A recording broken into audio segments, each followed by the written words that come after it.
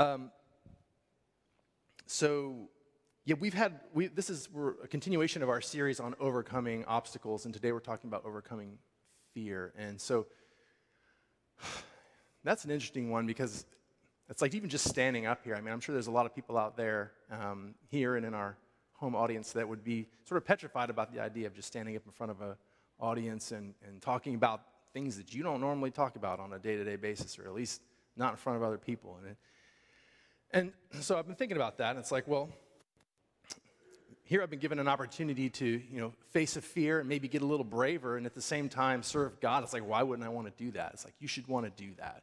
And so I'm going to give you kind of uh, what I've been thinking about over the last couple months, because I've had a couple months to think about this and kind of stew over it and I try to decide what I think people ought to know about what I think about fear. I mean, we've had some awesome lessons. We, you know, Nathan's got his whole series on, on fear that we've been uh, enjoying on Sunday mornings, and Ken talked about it a few weeks ago, and I enjoyed that. So, you know, what do I have to offer here? I mean, I, I don't intend to supplant anything that they said, but other than just to add, maybe add some color um, from somebody else um, and someone else that's also going through the same uh, crazy human experience, and you know, trying to understand, you know why God made us such scared little creatures. And you know what it is we're supposed to do about that. And are we supposed to be brave or are we just supposed to you know not worry about things and just be calm? Or and what exactly does he want from us on this? And so i'm to i'm to say a quick prayer for, for myself here for a second. Dear god thank you so much for bringing us here together to learn more about you. Um, we are such scared little creatures, and you, you made us this way. Uh, at the same time, you uh, comfort us when, when, we need it. And so it's, it's, it's my desire to try to learn a little bit more about why we are the way we are and what it is we're supposed to do about it.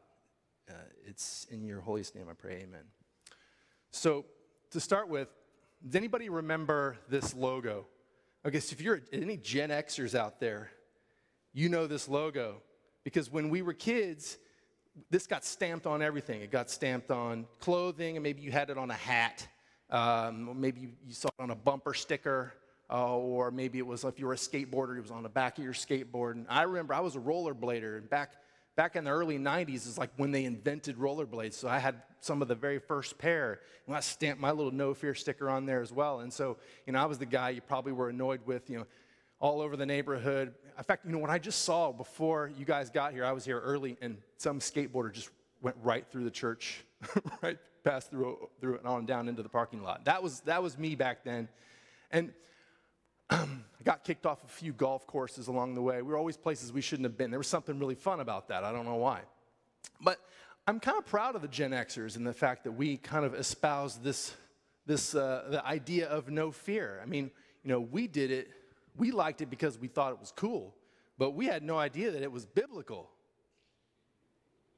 I mean, it turns out there's like 80 times in the Bible where we're directed to not be afraid or to have no fear. And there's 350 times in the Bible where there's just references to worries and anxieties and fears. So it's like you don't have to look, look through the Bible far to find something in the, something in the scripture uh, related to fear. So it's a pretty hot topic.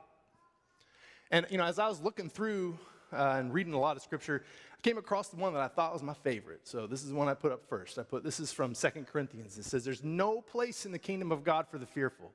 We're l- locked in the heat of the battle with the wicked. And in this battle, we'll be called upon to stand, to fight, to endure, and to conquer. So I really liked that. And I sat and I stewed about that for a couple weeks. And I, and I was thinking to myself, so I'm not supposed to be fearful at all. So what does that mean? Does that mean that I'm supposed to be super brave? Is that what God means? Is that what He wants me to do? Or is He, is he saying that there's other times when I'm just going to have to um, sit back and um, give it over to Him? I mean, which is it? Which am I supposed to be? So I've been thinking about that. So I was thinking about um, this idea that, or it's supposed to be brave or don't worry, be happy. It's going to be, is one of these two things. And so I, I, I want to kind of go into this idea of bravery. It's like, bravery, having or showing mental or moral strength to face danger, fear, or difficulty. It's like, yeah, I like the idea of bravery. Joshua says, Have I not command- commanded you, be strong and courageous? Do not be frightened, do not be dismayed, for the Lord your God is with you wherever you go. I'm going to stop for a minute and talk about dragons. I don't know why I've, I, have always been kind of interested in dragons because it's like they're mythical, they don't exist, but we all know about them. Like, why? Why do we all know about them? I mean, it doesn't matter. You can grow, you can go to the other side of the planet, and, and, and everywhere in every culture, they have some idea of dragons or some mythical creature like a dragon. And so, and you'd, you'd say to me, well, you know, Kyle, that, that's, these are just silly stories. It's like, really? they're really old, really old stories. And uh, if they're so silly, how come people spend thousands of hours, talented people, you know, drawing pictures and paintings of them. You can go on the internet, there's millions of pictures of dragons that people spent time drawing. And, you know, this here on the right is a sculpture that sits in Berlin of St. George uh, slaying a dragon. So it's like, why would people go to all the effort to, to, I don't know, pass down such stories if it wasn't something that maybe you ought to at least pay attention to for a second? So I'm going to kind of think about this. So, like, what is it about dragons? It's like, well, they're scary. Okay, well, why are they scary? It's like, well, it's kind of like a lion, you know, it has like paws like a lion and it's got teeth and mouth like a lion, but it's got the body of a serpent. You know, we're kind of supposed to be scared of that, and it's got wings. So it's like this lion, snake bird, scary thing that breathes fire. It's like, yeah, I mean, that sounds like something as a human being that we ought to be afraid of. I mean, it's, it's, it's not like just fear, but it's like fear times 10. It's like a meta fear. And so and what are the, the dragons always sitting on top of but gold, right? So they're, they're hoarding gold. And so, you know, what would happen would be, of course, as the story we know is like the, the knight, the brave knight, faces what he fears the most, faces the dragon and slays it. And in doing so, he gets the gold and he's, you know, he saves the fair maiden. It's like, yeah, man, you know, face your fears, slay them, and you win everything. It's like it's, there's a deep moral ethic in that that's lasted a long time, and there's something that's really important about bravery. so I stole this picture off the internet, but it does, definitely does kind of remind me of myself and my friends from back in the day. It's kind of like a 70s picture with, you can see that old bicycle with a banana seat, like I had one of those. And, you know, me and my friends used to ride our bikes up and down the street, and we would make those kind of homemade uh, ramps and drive up go up, up the ramps. And I remember, you know, the first couple times you did that was pretty scary, you know, uh, especially when you were the little guy. You, I mean, your older friends and stuff were jumping at you, so you'd be a little bit afraid. But there's something that's kind of cool about kids because they'll do that. It's like kids will, uh, in, in, order to have uh, an adventure, they're willing to stand in the face of fear to do so. It's something that kids are really, really cool about doing that sometimes adults aren't so good at. And it's almost like as, as you know, when we're, when, we're, when we're little kids, when you're born, I mean, what are you really afraid of? It's like, but as you grow up, there's thousands of things that you're afraid of, and then you accumulate those over years. It's like that's, we, seems like we become more fearful instead of less. I, in fact, I had this, arg, this sort of discussion with my wife last She's like, well, I think we become less fearful as we get older and we beca- become more knowledgeable. And I thought, well, I don't know about that. I, I feel like the world's always a scary place. There's always things to be afraid of, but I think that we become braver. There's something about that. It's, it's not that we become less scared, we become more brave. And so maybe you see kids like this and they're standing up on you know, precariously placed objects and you may scream at your kid or your grandkid like, get off of there. You know, or maybe you're one that's like, yeah, I'll let you go for a little while, but be careful, I'm watching. It's like, kids like to do this, and we like to let them do this because it's like, what are you going to do? Have them sitting next to you on your side all the time? You, you want to let them explore and kind of face their fears and, and get kind of an idea of the world. It's like there's something that's okay about that. So here's a picture of a skateboarder again. I'm on this trip, I don't know why. So here's a, a, a skateboarder that's doing tricks, and you might say to yourself, well, it, it, it, that's stupid. I mean, is this stupid or is this courageous? I mean, it's, it's one or the other, or maybe, I don't know, there's kind of a fine line between stupid and courageous. And I've been thinking about this guy, and it's like, well, that's pretty stupid, right? So, I mean, he's about eight feet in the air, and then when he falls, he could certainly, you know, break bones and uh, abrade his skin and get a concussion and all sorts of things, maybe even worse. And so it's like, why do these guys do that? I mean, does that make much sense? And is there anything that's sort of courageous about it? And part of me thinks that there's something that's kind of noble and courageous about this because you can ask these guys, you can ask these skateboarders why they do it. And it's like, well, you know, they, they love the thrill of it and they're sort of conquering their fears and such. But, and you can, and you can tell them, look, we'll give you some protective gear. How about you wear a helmet and pads and such? And, and they'll refuse it. They'll refuse it because there's something about leaping in the air and being in the moment and being fully committed. So there's this idea that uh, of nobility and, and, sort of jumping without a safety net and being fully committed and living in the moment. And so I kind of like that. You know, uh, there was a uh, there's a Dutch philosopher named Kierkegaard, and he had this kind of cool idea. He said, "Look, you know, we live in this world that's um, you know the historical, scientific, empirical sort of earth that we live in, the world." and then there's God. And is, is, there a way to, to have a bridge between them? Is there such thing as a bridge between them? And his idea was that there really wasn't a, was not a bridge between them, that what a Christian would do is make a leap, that there was this sort of leap of faith that you probably, uh, you probably heard of people talking about leap of faith. Well, that's kind of from Kierkegaard. His, his whole idea was that if, if you're really living this, uh, really living the Christian life, that what you're doing is that you're sort of suspended in air, and, and you're sort of suspended in midair um, and you have you're in a place where you've resigned control. It's like I'm not in control. I'm living in the moment, and um, I've given the control over to God. So that's sort of the idea of Kierkegaard. So I kind of like the idea of skateboarding. It's like, hey man, that kind of reminds me of your Christian walk. It's sort of like this leap where you're fully committed. You're all in. There's some games in life you don't get to play unless you're all in, and this is one of them. You know, I can teach you about fear. You know, I, I, I studied the human body for a long time. And back when I was a, uh, in my early 20s, I taught biochemistry to undergraduates. And I really liked biochemistry. And one, one of the things you learn when you're studying the sort of the chemistry of cells and such is that cells have all this complex machinery that's uh, useful for making energy. And all those little chemical reactions that occur inside of a cell that's trying to make energy is very much influenced by hormones that come around it. And a lot of those hormones come from states about, of fear. So isn't that kind of interesting? So like even from the most basic cellular level, we are designed to deal with and respond to fear. It's, it's at the core. And you know, even this little guy here, cute little lizard, but when he gets scared, it's like he makes himself big and scary. It's, it's automatic and it's fast. And it's this whole idea of fight or flight. You know, we can talk about that. It's the idea that if you're in a scary situation that you're going to want to do one, one of two things. You're going to stand up and fight, or you're going to run and tuck tail and, and, and leave as fast as possible. And these circuits that control this kind of thing are super fast. I mean, there's a, an organ in the, in the base of your brain called the hypothalamus, and it's, it's an important part of the brain because it's, it's, very, it's very primitive, and it controls things like your need to sleep, um, the need to you know, eat when you're hungry, the need to breathe, the need to drink when you're thirsty. An extraordinarily powerful center of the brain, and fear's right in there. These fear circuits are built right in there. And so, you know, when you're in a fearful state, it's very, very fast, and it's involuntary. It's involuntary. You know, you see something scary, your pupils dilate, and your, your muscles, uh, you know, get more blood flow, and your heart rate goes up, and it's like you're getting primed and you're ready for action.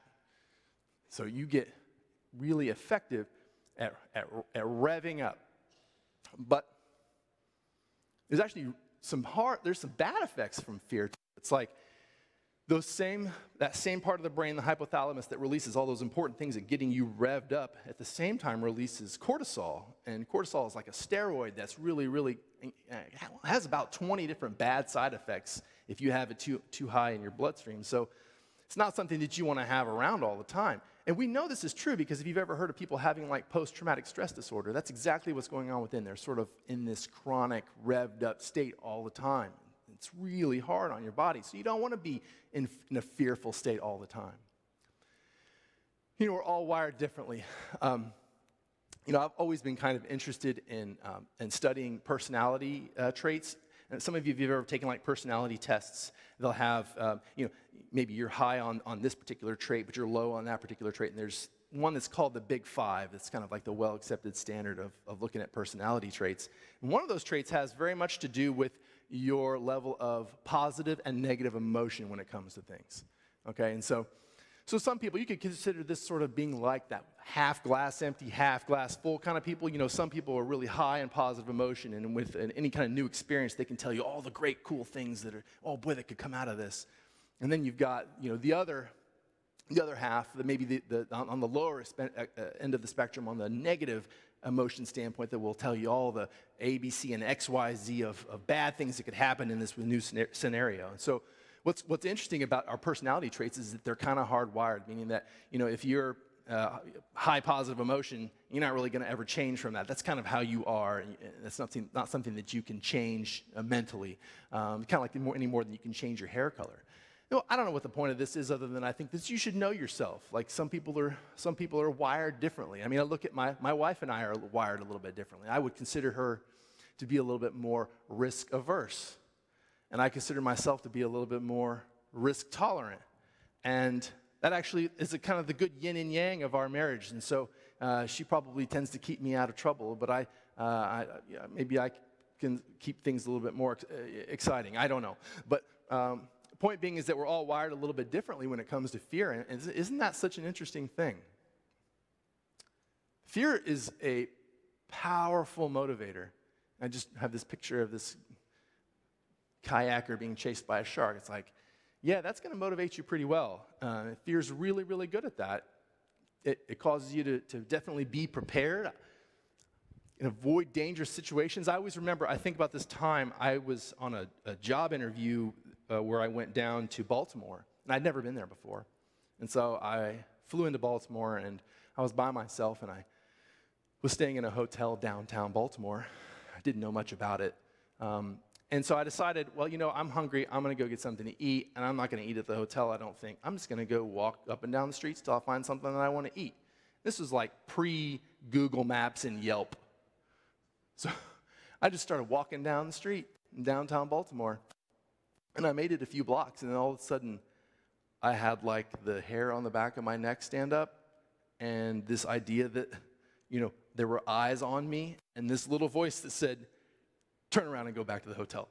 and I'll, I'll, never forget like that. I, I, don't know whether that really protected me. I really felt like something bad was about to happen. But anyway, the, the fear can really like, protect you. It keeps you out of dangerous situations. You know, you get, it tells you to keep your, get your act together, stay out of trouble, you know, keep your nose clean, that kind of thing.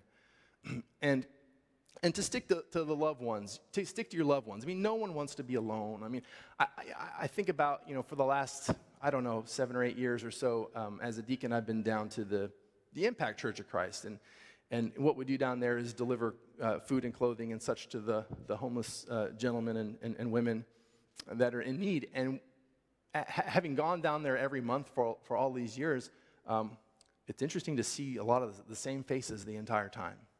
Well, that's a whole other discussion. But what, what I've thought a lot, of time, a lot about these guys and gals. It's like, why, why are they in the situation that they're in? Is there anything that they have in common? And I, I feel like the thing they have in common is that they've alienated their families. It's like, that's the final straw. It's like, that's your, that's your safety net. And so um, nobody, wants to be, nobody wants to be alone. And maybe uh, that's why we stick so close to our family, is because we're afraid of being alone. Fear can really uh, paralyze you. Um, you know, if, if you have it for too long, like I said, it can be bad. And it's one of those things that uh, can keep you from engaging with the world. So when I was looking through the Bible, I was thinking, what's the first time that you encounter fear at all? Like the very, very first time. And so I, I went through and I was looking, and it didn't take me long to find it. And so that's, you know, Adam and Eve have just committed the first sin, and God is walking through the Garden of Eden, and he's looking for Adam and can't find him. And Adam's in the trees, hiding in the woods. And he says, You know, what are you doing in there? And he says, I was afraid because I was naked, so I hid. And it's like, that's exactly right. Our first response to sin is fear. And then from that, disengage, hiding in the trees, no longer willing to engage with the world, no longer willing to engage with God. It's like, yeah, fear can paralyze you. You know, I kind of feel like we're living in 2019, 2020 COVID era, I mean, are any of us ever going to forget this? Probably not. And probably be telling people for a very long time about these weird years. And so, you know, what is fear doing to us right now? Is there a lot of fear surrounding what we're going through right now? It's like, you better believe it. And every single one of you has not been quite sure what to do with the fear that you have. I mean, uh, is it gonna, are we using it to protect ourselves? Well, sure. I mean, of course you have. Of course you've maintained your distance and tried to, to avoid this potentially scary virus. And it's not potentially scary, it is scary. I mean, I, I can tell you from being in the biz, I've seen folks with it, and I've had friends with it that were really sick. It's nothing to, nothing to be um, flippant about. But at the same time, you know, how far are you going to take it? I mean, how far are you going to. Uh, are you gonna, are you gonna hide in the corner? I mean, when are you gonna start living your life? And I, I'm not gonna sit here and tell you like I know the answer. It's tough, right? I mean, it's tough. You wanna live life, but you don't wanna be stuck in the corner. So fear can be kind of good and bad and it can stall out your service. And so it's like, it's like teaching this class. I mean, there's a, there's a hundred reasons why I could say that I'm, I'm scared to do it, you know, but nevertheless, we're here. But it, fear can make you stall out and keep you from serving God when, when, when you most certainly could, or serving in a worship service, or participating in a ministry. I mean, I think about this brand new Faithful Fathers ministry. Like, what if, what if those guys were afraid that no one was going to think it was, you know, useful? Like, what, what if they were afraid? They wouldn't have done it. And so can't let fear stall out our service either. You know, I really love the stories in the Old Testament because so real. I mean, you oftentimes, you know, obviously the, the Bible's had its critics forever, and people have said, oh, well, it's just made up. And who was it? It was um, Karl Marx that said that uh, religion is the opiate of the masses, correct? The religion is there just to numb us. And it's like, well, if that was true, and if you were going to write the Bible, you certainly would probably whitewash it a little bit more than you have and make it a little bit more sometimes easy to believe, correct? I mean, you know, Abraham is a hundred year old father. I mean, that and a hundred other uh, particular things that you might just omit if you were writing the Bible and you wanted to make it easy for people to swallow, right? But it's not always like that. But I love it because it's so real. I mean, the, the people that, that God chooses, um, yeah, they are 75 year old guys that, that have been, you know, maybe they were living in a tent and he says, okay, now get out of your tent and go to Egypt, okay? He says to them that, that despite not knowing where they're going, that Abraham did, did this. And imagine how scary that must have been to take your family, not know, even know where you're going, and go to a foreign country. so, as well, you know, rescuing Lot. He had to defeat four king's armies to do that. That sounds pretty scary. Argued, bartered with God. I mean, does that sound like something that you'd be super excited to do and not the least bit scared of? Is arguing with God, you know, for a bunch of sinners? Or uh, being asked to sacrifice your own son. I mean, all of those things were certainly fearful situations that Abraham was right in the middle of and stood up and, and, and faced it and, and took the call. So, Abraham's a great example of that. And what does he say? God says, Don't be afraid, Abram. I'm your shield, your very, very great reward. Jonah, same thing. I mean, you know, uh, obviously afraid to do what God asked him to do and needed a little convincing. and ultimately did what he was asked. And that, that's kind of what I like about these stories is that you think, well, these are all flawed characters. I mean, like deeply flawed characters, like, you know, liars and adulterers and murderers. Um, uh, and at the beginning, maybe there are people you wouldn't be so excited about hanging out with, but it's like God kind of carves on them a little while and he, he etches on them a little while till the very end. They're people that you would count on and people that you would want to know. Moses, same thing, 80 years old. Which is another interesting thing. That means that all of us, doesn't matter what your age is, needs to be ready for the call. Like, we all have to be ready. We don't know when it's coming, and we have no ex- age is obviously not an excuse. So go now. I'm sending you to Pharaoh to bring my people, the Israelites, out of Egypt. And so was he a perfect man to lead Israel? I mean, he was, he was afraid that, you know, he, he, couldn't, he, he couldn't speak. He wasn't a speaker. He's like, he was afraid people were going to find out he was a fraud. You know. But his bravery, yeah, obviously inspired the Jews to follow him. Daniel, it was the decree by the king that you couldn't pray, that, that that the Israelites couldn't, that, that were there couldn't pray, but he did it anyway. He never gave up praying. He faced his fears. I mean, how, how fearful would being down in a lion's den be? I mean, I can't even imagine the kind of fear that that would give a human being. Talk about your eyes dilating. anyway, so his, his devotion to God inspires King Darius to, to issue the decree that, you know, as a result, all, that uh, the entire kingdom should revere the God of Daniel.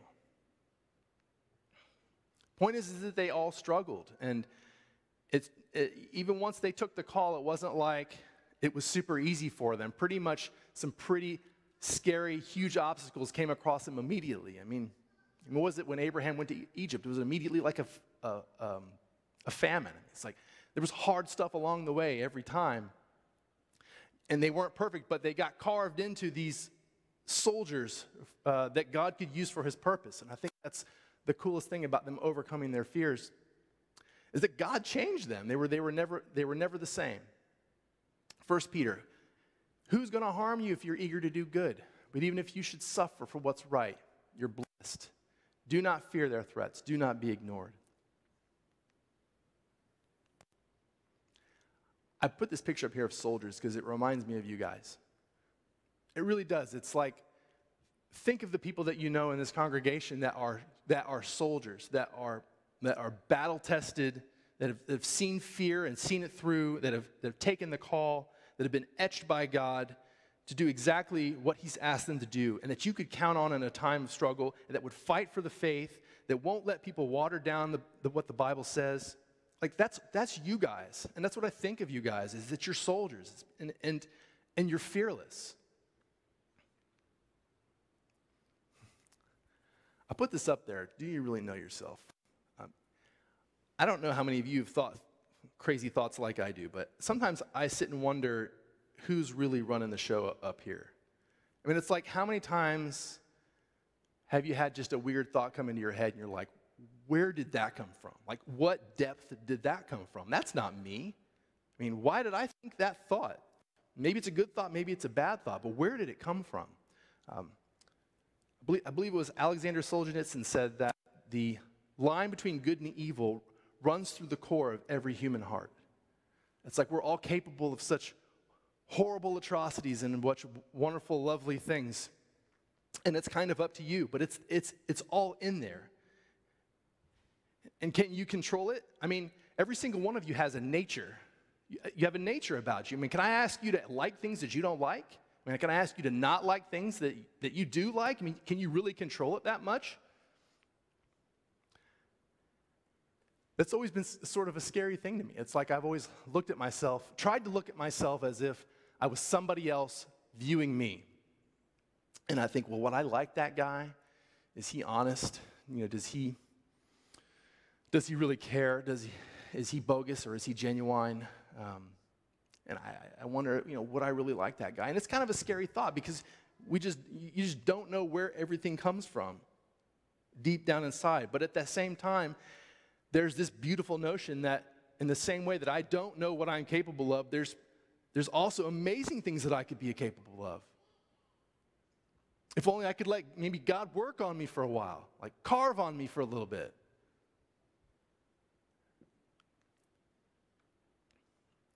Could you control your fear even if you wanted to? I guess that's my point. You think you have that much control of what's going up here? That you could control fear? Like I just told you, it's down at a cellular level. You think you can control it? You can negate it?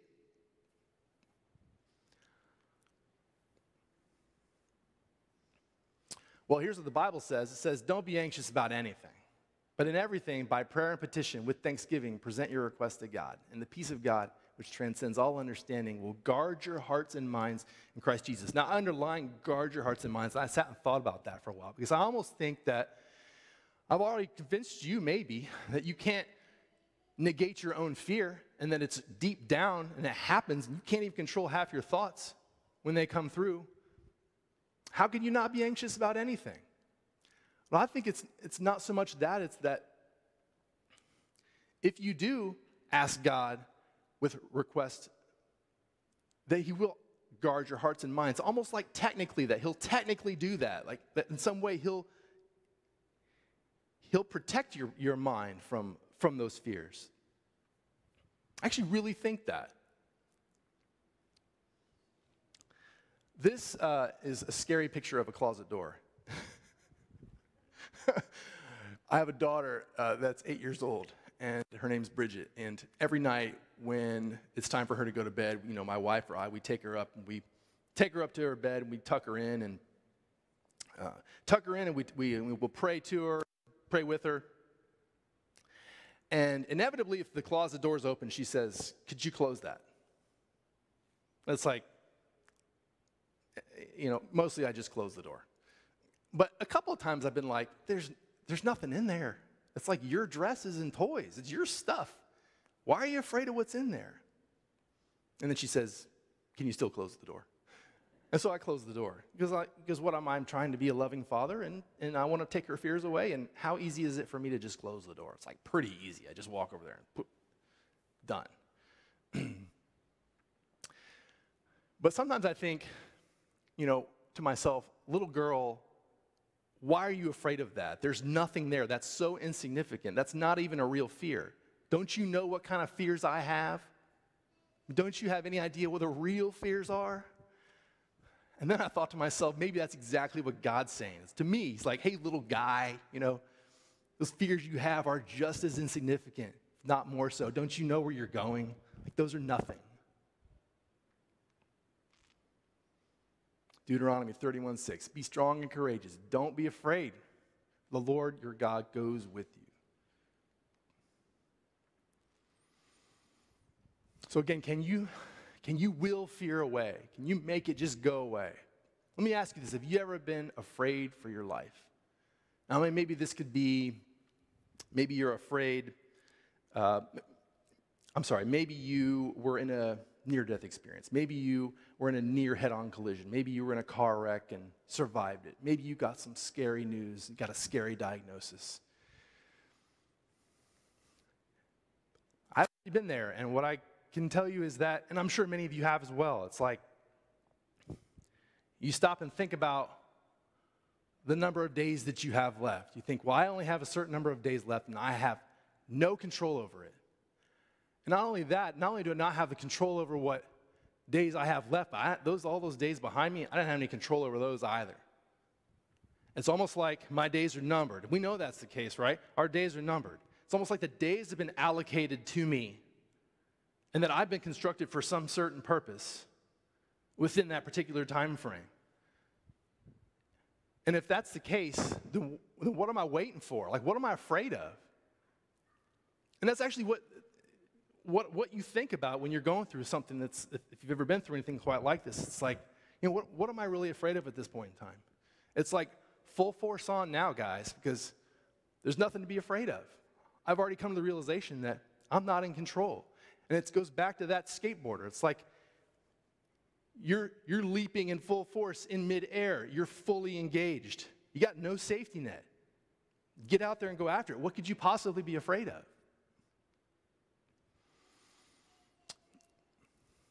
Put this picture up here because um, I've been thinking about this for a long time is this idea that if I could somehow live my life such that I was looking through a lens, like maybe a really long lens, and, and what I was looking at was where I'm going to end up at. Hopefully, that's heaven with God. If, if that's where I can focus my attention on, then the, everything else around it seems blurry.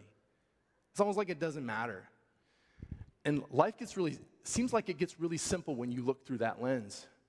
Because it's like everything that encounters you on a day to day basis either helps get towards your goal or pushes you away. Hey, decisions start getting a little bit easier and your fears start melting away. So